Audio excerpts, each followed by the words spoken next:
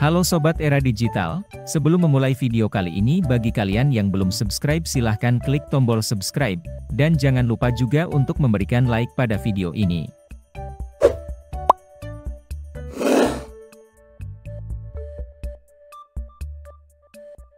Pembelajaran merupakan kegiatan mengenai belajar dan mengajar yang melibatkan proses interaksi antara guru dengan peserta didik. Proses pembelajaran juga melibatkan sumber belajar.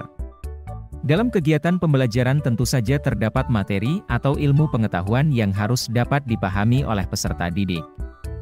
Namun batas kemampuan setiap peserta didik yang berbeda maka tidak semua peserta didik dapat memahami materi dengan baik. Hasil belajar yang baik menjadi suatu keberhasilan dalam proses pembelajaran. Guru dapat mengetahui kemampuan belajar peserta didik dengan cara melihat hasil belajar setiap individu. Untuk mengetahui hasil belajar tentu harus melewati proses penilaian yang dilakukan oleh guru kepada peserta didik. Penilaian dalam pembelajaran adalah proses untuk pengumpulan informasi mengenai hasil belajar peserta didik. Perlu dilakukannya penilaian oleh guru dalam pembelajaran sebagai salah satu cara untuk mengetahui kemampuan belajar setiap peserta didik. Selain itu juga penilaian dapat digunakan sebagai alat ukur untuk mengetahui pemahaman peserta didik dalam memahami atau mempelajari materi pembelajaran. Penilaian yang baik tidak hanya memberikan gambaran tentang sejauh mana siswa memahami materi pelajaran, tetapi juga menjadi alat untuk memperbaiki proses pembelajaran. Berbagai model penilaian telah dikembangkan untuk meningkatkan akurasi, objektivitas, dan relevansi dalam menilai kemampuan siswa. Dalam video ini, akan menjelaskan beberapa model penilaian yang sering digunakan dalam pendidikan. 1. Model penilaian tradisional Model penilaian tradisional cenderung menggunakan tes tertulis dan ujian sebagai alat utama untuk mengukur pemahaman siswa. Ujian ini dapat berbentuk pilihan ganda, esai, atau soal aplikasi. Namun, model penilaian tradisional ini memiliki beberapa kelemahan, seperti kurangnya kesempatan bagi siswa untuk menunjukkan keterampilan dalam konteks yang berbeda dan keterbatasan dalam mengevaluasi aspek non-kognitif. 2. Model penilaian formatif Model penilaian formatif menempatkan penekanan pada umpan balik yang terus-menerus dan berkelanjutan kepada siswa selama proses pembelajaran. Guru menggunakan berbagai alat penilaian, seperti tugas-tugas kelas, proyek, observasi, dan diskusi kelompok, untuk memantau kemajuan siswa. Dengan menggabungkan umpan balik langsung dengan pengajaran yang tepat waktu, model ini membantu siswa untuk mengenali kekuatan dan kelemahan mereka dan memperbaiki pemahaman mereka sepanjang perjalanan pembelajaran. Beberapa metode yang digunakan dalam model ini antara lain Ulangan harian, guru memberikan tugas atau pertanyaan singkat setiap hari untuk mengukur pemahaman sehari-hari siswa. Observasi kelas, guru mengamati siswa dalam tindakan sehari-hari di kelas dan memberikan umpan balik secara langsung.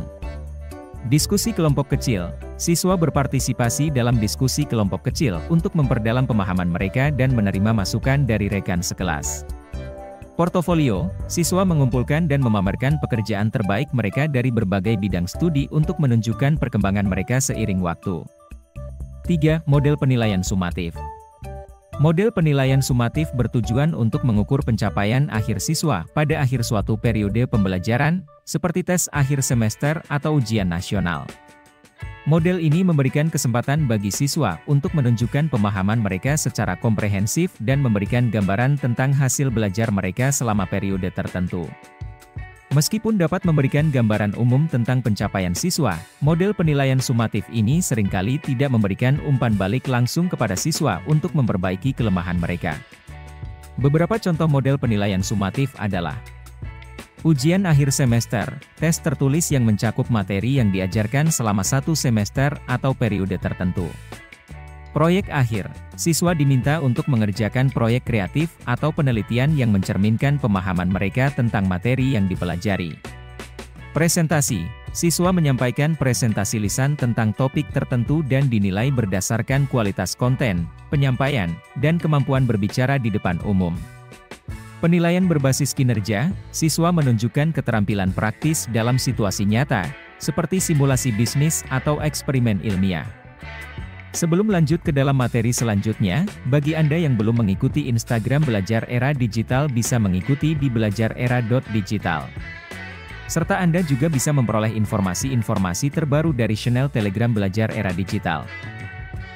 4. Model penilaian alternatif Model penilaian alternatif mencakup berbagai metode dan alat penilaian yang berbeda untuk mengukur pencapaian siswa.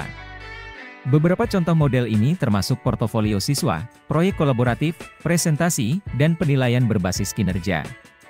Model ini memberikan kesempatan bagi siswa untuk menunjukkan pemahaman mereka dalam konteks yang lebih autentik dan relevan. Selain itu, penilaian ini juga mengukur keterampilan non-kognitif, seperti kerja sama tim, pemecahan masalah, dan kreativitas. 5. Model penilaian kompetensi Model penilaian kompetensi menekankan pada pengukuran kemampuan siswa dalam konteks yang relevan dengan dunia nyata. Dalam model ini, siswa dievaluasi berdasarkan pada keterampilan dan pengetahuan yang spesifik yang relevan dengan bidang atau profesi tertentu. Penilaian kompetensi sering kali melibatkan tugas-tugas yang terintegrasi dan kompleks, yang memungkinkan siswa untuk menggabungkan pengetahuan dan keterampilan yang mereka pelajari. 6. Model diagnostik Model penilaian diagnostik digunakan untuk mengidentifikasi kebutuhan dan kesulitan belajar siswa secara individual. Beberapa metode yang digunakan dalam model ini adalah Tes awal, tes yang dilakukan sebelum memulai pembelajaran untuk mengukur pemahaman awal siswa tentang topik yang akan dipelajari. Tes diagnostik, tes yang dirancang khusus untuk mengidentifikasi kesulitan atau kelemahan spesifik siswa dalam pemahaman konsep tertentu. Observasi individual, guru secara khusus mengamati dan mencatat keterampilan, pemahaman, atau kesulitan belajar siswa secara individual.